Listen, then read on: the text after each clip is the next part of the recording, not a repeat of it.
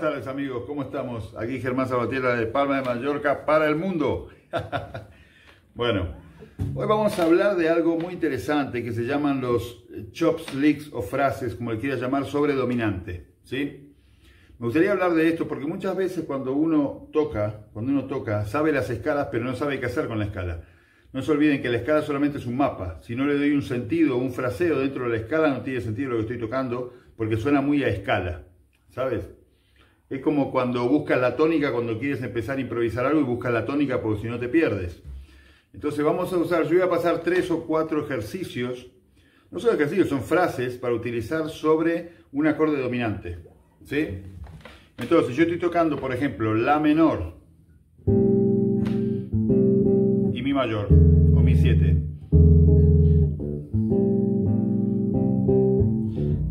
Este acorde que voy a tocar, porque tú dices, bueno, yo toco La menor, como es Mi mayor, voy a tocar, por ejemplo, la escala menor, dórica sobre La, y después la escala menor melódica sobre La, que también funciona bien. Pues yo voy a estar tocando sobre La, y al Mi,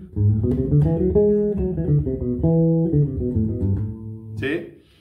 Pero bueno, sobre ese dominante hay muchas cosas, hay mucho lenguaje sobre el dominante, sobre todo en el jazz, eh, donde se puede usar la escala alterada, la escala dominante, la escala semitono-tono, dominante, que es la disminuida semitono-tono, y también se puede utilizar la escala tonal, eh, hay varias escalas que se puede utilizar, pero claro, es solamente la escala. Entonces voy a pasar tres frases sobre dominante, que lo estoy utilizando ahora sobre la menor mi, pero tú lo puedes utilizar sobre, una, sobre un blues tranquilamente sin quitar lo que es el sabor del blues, en alguna parte ir en un, más que nada jazz blues, ¿no? Para que no se ofendan los fundamentalistas del blues, que es solo pentatónica, para muchos es solo pentatónica y ahí está el sabor del, está el, lenguaje, según ellos, la opinión de ellos, ¿no?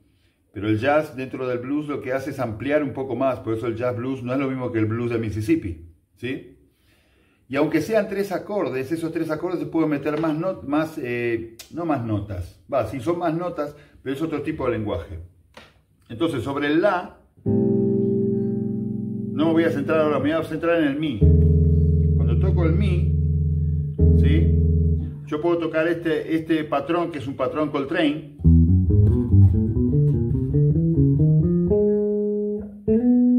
y el La, ¿sí?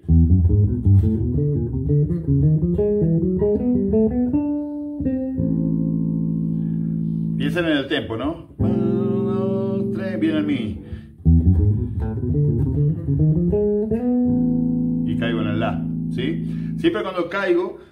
Sobre una nota del acorde que tiene que ver. Así vas uniendo y trabajando la unión de los acordes cuando estás tocando, porque si no, no tiene mucho sentido y suena que estás tocando sobre una escala, pero no estás escuchando los acordes y la armonía que está detrás, ¿sí? Lo que pasa muchas veces cuando aparece el dominante, muchos lo toman como que es parte de la misma escala donde estoy tocando, y no es así, porque el dominante está generando una tensión que busca resolución. Entonces, sobre esa tensión podemos meter esta frase, que es la frase Coltrane.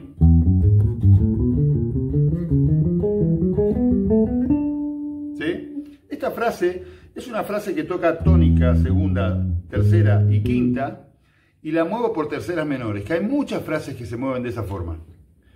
Yo toco esto, si toco lo mismo de la tercera menor de donde partí, va a sonar así. Perdón.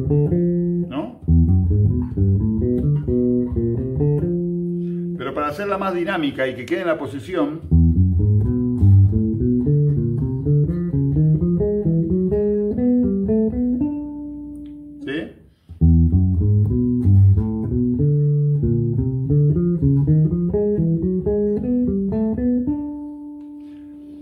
una frase de tónica, segunda, tercera y quinta movida por terceras menores.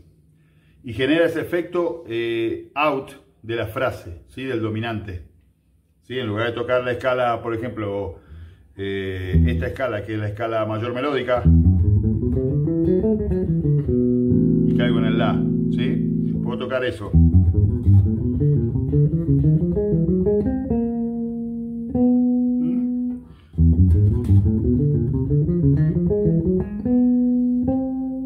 caigo en lo que sería la tercera menor, ¿no?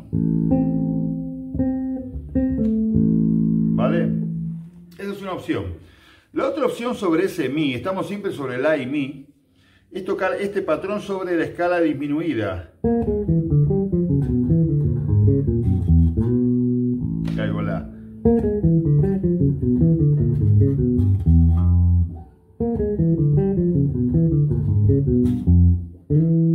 Y el la. Caigo en la quinta de la para no caer en el la tónica, ¿sí? Este patrón es muy conocido dentro del jazz, que es un patrón disminuido.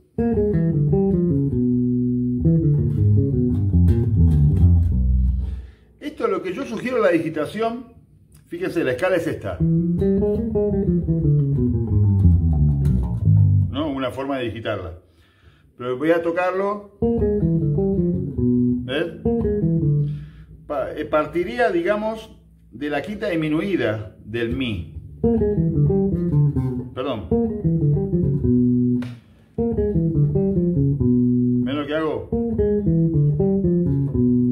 Aquí abajo meto esta frase y se repite.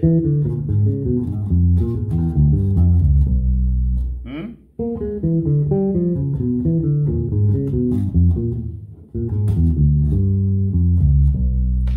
Es medio moño la frase, pero bueno, es interesante. Pues estoy tocando eso, ¿eh? ¿Ves? Es más fácil que tocar. Esta frase también está movida por terceras, miren.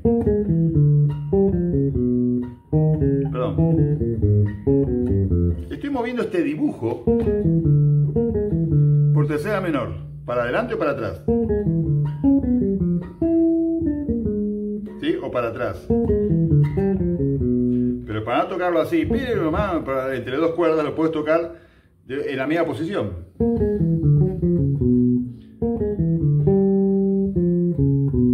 Te queda este dibujo en la segunda. Son dos dibujos. Uno es este y el otro es y el de abajo y después eh, meto aquí abajo y empieza la otra forma.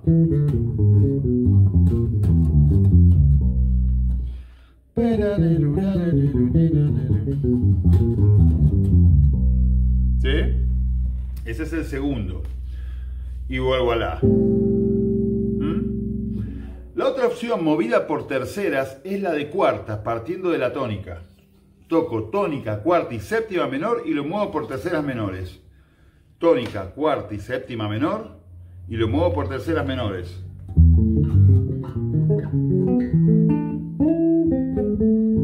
la, ¿eh? Y a la. Esto es muy interesante este patrón. Aquí uso pulgar índice mayor, ¿eh? va a tres cuerdas, tónica, tercera y séptima, perdón, tónica, cuarta justa y séptima menor, y lo muevo por terceras menores.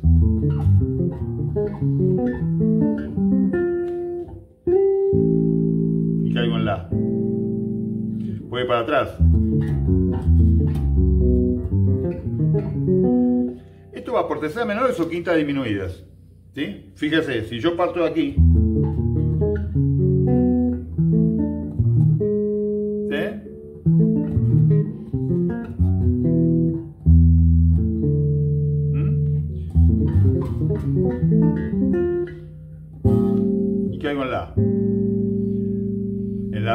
La toco la escala dórica, pero estamos, eh, nos estamos eh, concentrando solamente en el dominante, ¿sí?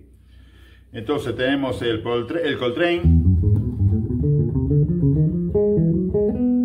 la. Estas son frases de, de, de semicorchea para un compás, ¿no? Estoy haciendo esta, esta cuenta, esta métrica. 1, 2, 3, 4, y caigo en la, ¿no?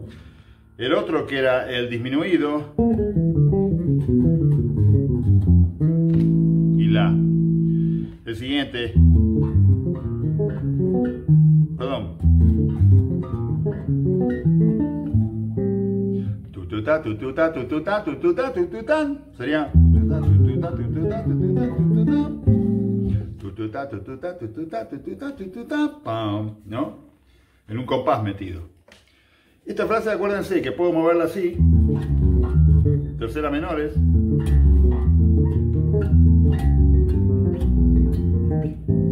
y la. Estoy tocando solamente pulgar, índice mayor. ¿Ves que el lenguaje es diferente al que pensar en un dominante? ¿sí? No toco la escala que toca, o sea, no es que no toque esta escala, pero es una forma distinta de hacerlo, ¿sí? La otra opción, amigos, es la Coltrane para atrás.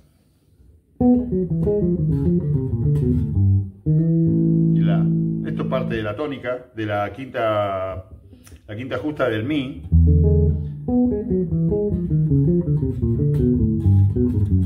Es lo mismo que para, es para atrás.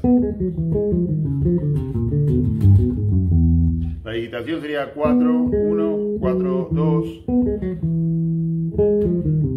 Esta es la segunda.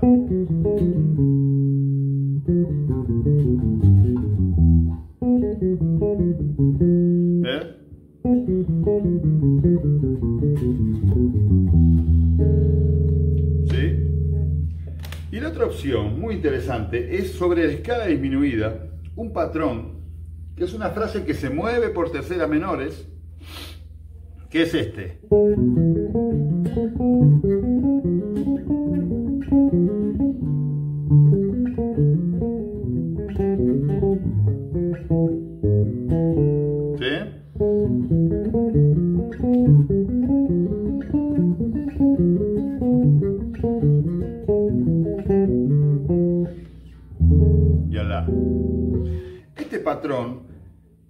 partirlo de la tercera, de la séptima menor o de la segunda menor. Mira, si parto de la séptima menor,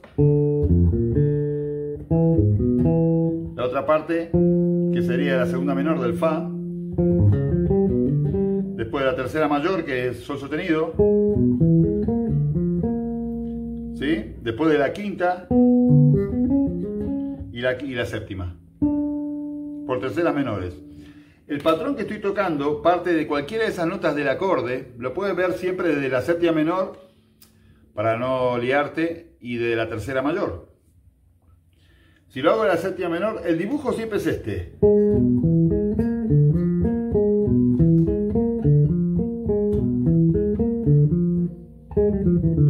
Sobre la escala disminuida dominante de mi estamos hablando, ¿eh? ¿Vale?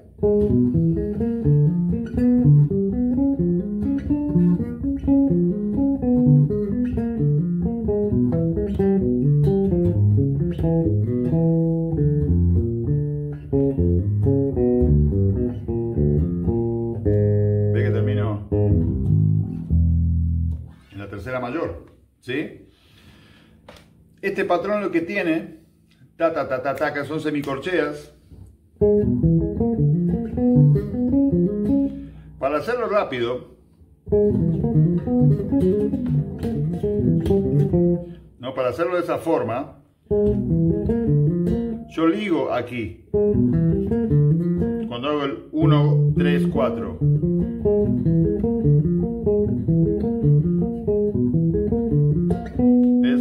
El mismo dibujo pero movido de terceras menores. ¿Sí?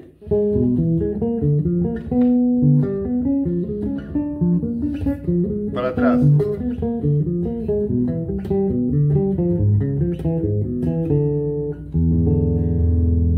Y caigo al La.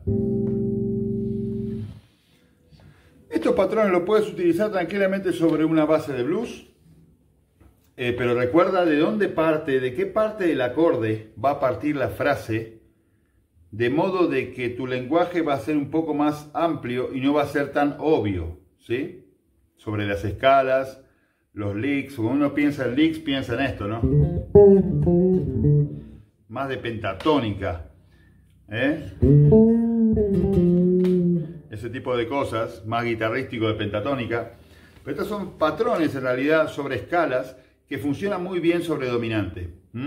Entonces puedes coger dos acordes, un backing track de La menor, Mi, Mi 7, ¿no? de tónica dominante, la tónica en menor, y cuando vas al dominante empieza a practicar estos patrones para tenerlos eh, internalizados. Lo puedes practicar en otra tonalidad para saber eh, desde qué tónica parten, Acuérdate, el primero parte de tónica. ¿No? Ese también puede partir de la tercera menor.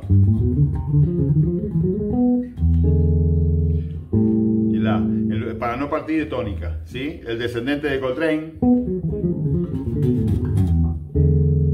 El otro disminuido. Eso hay que trabajarlo por la digitación.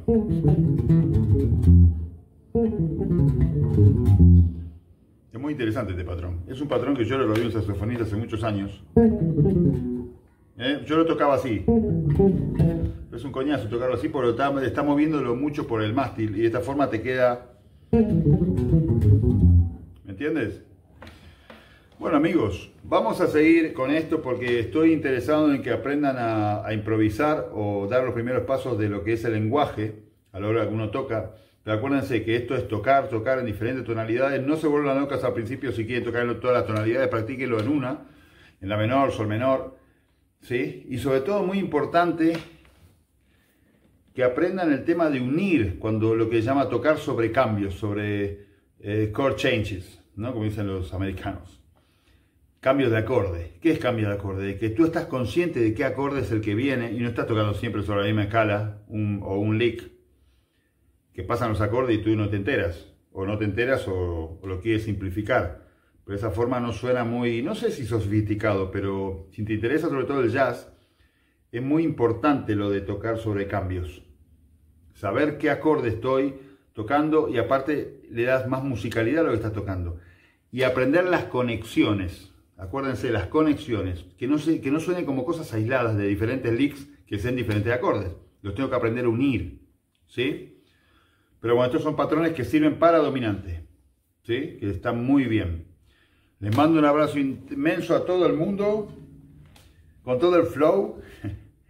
Bueno, muchas gracias por estar ahí. No se olviden de darle al like y si les gusta, compártanlo. Y si no les gusta, pues no pasa nada. Somos amigos igual. Hasta pronto, amigos.